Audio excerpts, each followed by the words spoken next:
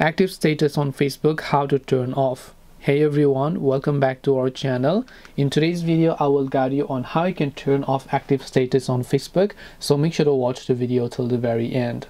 So if you want to turn off active status on Facebook all you have to do is go ahead and then first of all make sure to launch Facebook app.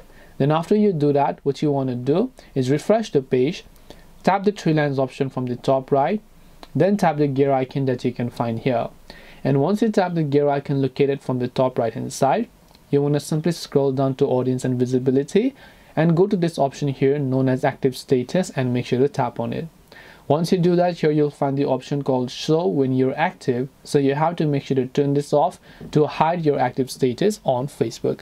Now if you use messenger you have to do this process from the messenger app as well. If you don't use that's perfectly fine with that. So hope this video helped you guys. If you have got any more questions feel free to leave them down below. Thank you for watching and see you in the next video